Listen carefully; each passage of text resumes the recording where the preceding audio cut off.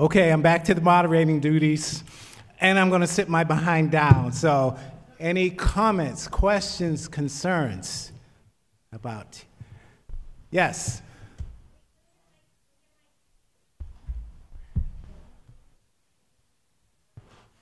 Is it okay if I sit? Yes. Thank you. Thank you. Okay, sorry. Sorry. Excuse me. Sorry. Hi, uh, Nicholas Gula. Um, you talk about the, the attack on teachers, um, and I just want to point out the fact that that UMass, the UMass system, is does attack um, adjunct professors, attack all of us in privatization. Um, the fact that the UMass system um, doesn't respect uh, the staff and um, faculty of, of their own universities, and I just want to point out that fact. Thank you.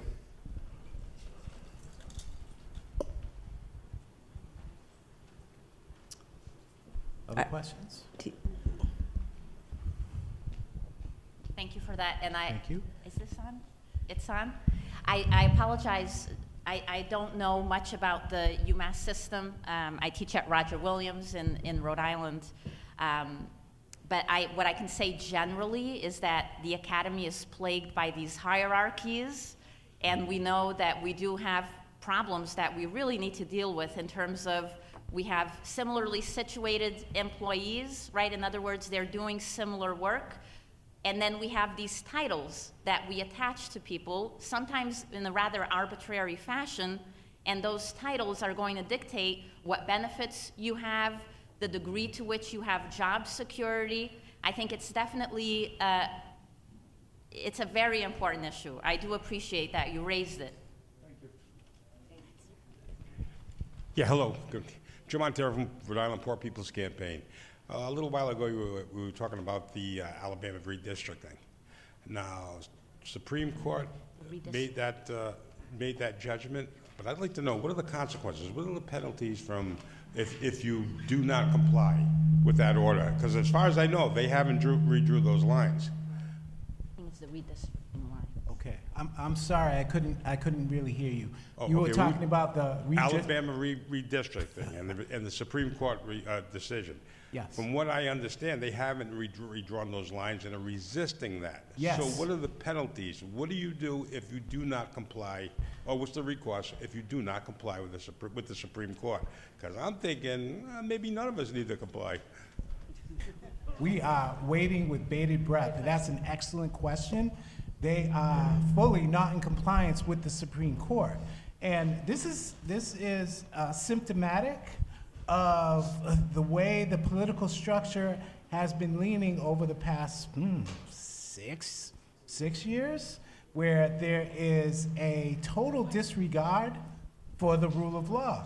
So, um, so I am actually, I do not know the answer to that question, but there, there should be a penalty that is imposed because they are out of compliance with a decision of the Supreme Court. And they are, as you pointed out, resisting. Oh, I'm getting feedback. I actually have a follow-up to that question. I'm Jen Freeling. Um, that was true with Brown versus Board of Education, right? The southern states just refused for many, many years. All to not deliberate speed. Right. And I don't know all the details, but it was more than a decade, right, that it took for many of these states to comply. What was the trigger that actually got them to comply? Because maybe it will be, that same trigger will work in this case. Honestly, in my assessment, actually, that came in 65 with the voter registration, uh, excuse me, the Voting Rights Act came into effect because prior to 65, the South was pretty much Democratic. So the South had the Dixiecrats. So after uh, 65, when the voter rights came into effect, you had all of these um, African Americans now empowered to vote. Dixiecrats, there was no place in the South for them. So the Republicans were like, oh, come join us. So you have seen, uh, if you look at our history, After 65, you've seen the flip. The South became Republican. So, and with that being said, that's where a lot of these changes came into effect. That's my view. And uh, I would also add that one of the more um, effective powers that the federal government uh, has and that it did utilize in that arena was its, the power of the purse. So it basically attached uh, money and it said, listen, if you don't open your schools to all students, right, if you don't stop discriminating on the basis of race, we're going to withhold the federal monies that we would otherwise send to your local states and districts. And that is a very effective way to go about this. Mm-hmm. Even interestingly enough, sometimes used in ways that we may not want, right? So if you think about the race to the top competition under President Obama, there was a $4.35 billion pot of money. They didn't even have to guarantee that states were going to get the money. They made it a competition, and in order to be eligible, just potentially eligible, changes made all of these changes, uh, states, excuse me, made all of these changes to their laws, including lifting caps on the number of charter schools, right? So that power of the purse, I think at the federal level, is a very useful one. It's just that sometimes, in terms of the policy that it furthers, it depends on who's in there. Mhm. Anybody else have a question? Oh, I'm coming.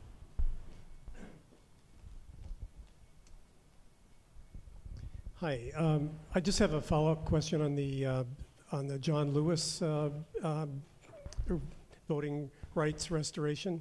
So it's been three years already, and even if some miracle occurred and there were enough votes in Congress to pass it, wouldn't it be subject to the same, pardon me, the same uh, main obstacle, the Supreme Court? The short answer to that question is yes.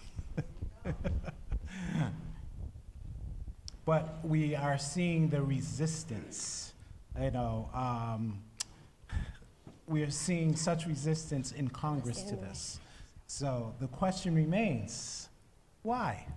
We all know the answer to that because that is um, another method to disenfranchise folks from voting because, again, uh, there's a lot at stake depending upon what side of the political aisle you are on.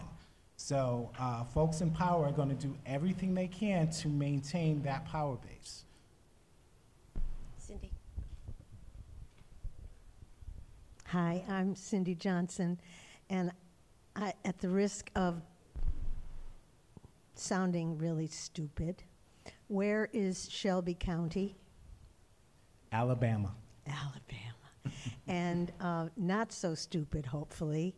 Uh, what do you say to young people, particularly those who are newly able to vote in the best case scenario? What do you say to them? My vote's not going to make a difference. Things are a mess and I can't do anything. What are your thoughts on that? Uh, I'll start with that and say one thing that I would encourage young people is to, first and foremost, know your history. Because history oftentimes repeats itself. And we are seeing coming uh, some of the rhetoric coming out of the mouth of the front runner uh, echoes a certain dictator from Germany back in the 1930s. So a lot of times, history repeats itself.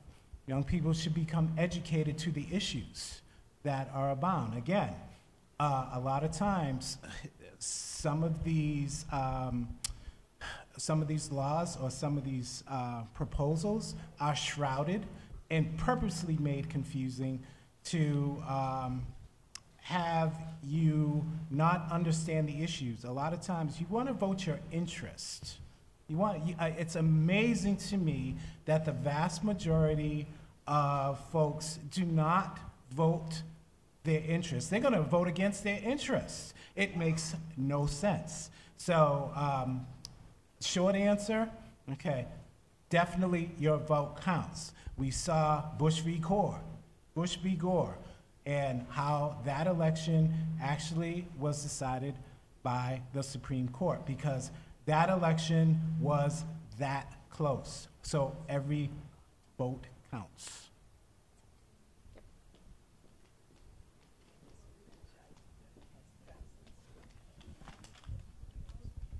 Uh, Obviously, it's a subject that's dear to me, so I'm going to ask another question.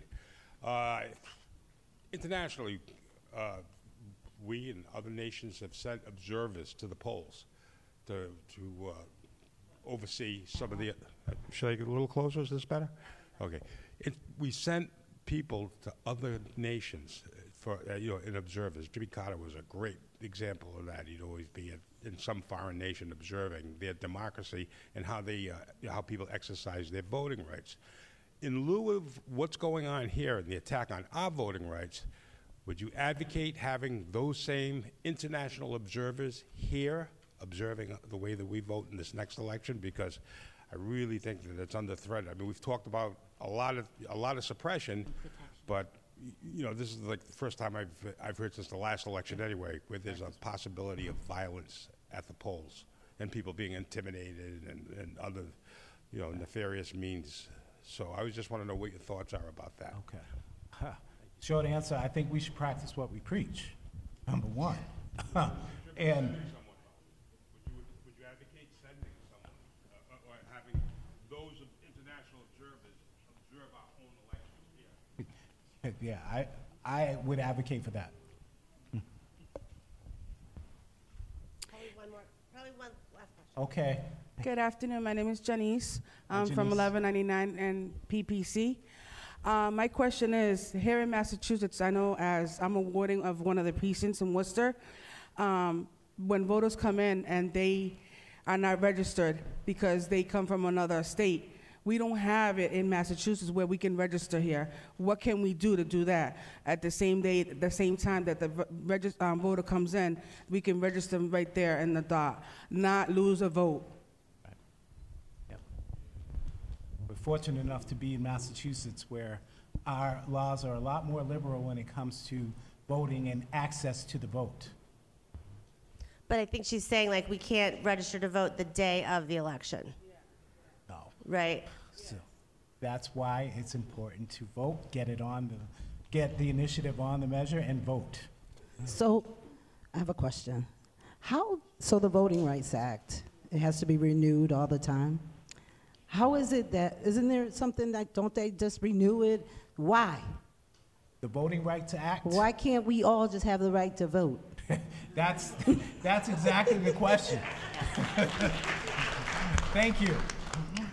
And, you know, one, one thing, I believe one of you mentioned the, the international uh, example or the comparative example, and one potential idea is to actually make it a holiday, so that, because again, it's neutral in theory, but it's going to disproportionately impact whose work schedules are not as flexible, so if it was a holiday, everybody had the day off, then it would be easier to exercise the vote. So, yeah, that's Okay, okay, one last question. Hi, Robin um, Bell from 1199. Um, why aren't we getting any more progress on this electoral vote? I mean, we have lost more to the Republicans, um, and we've had the popular vote and by a lot. And that, I just don't understand why we can't get that passed. I mean, this is not farmer days where you know you needed three days to get there. This is the 21st century. I, I'm with you on that one. We almost, the Electoral Col- College was almost eliminated under the presidency of Gerald Ford. It's because they have so many layers. It's you've got to have like two thirds of the states. Uh, it's almost near impossible to rid ourselves of the Electoral College. At one point in our country's history, we came very close, but it should be one person, one vote. That's why we're seeing, you know, yes. All right.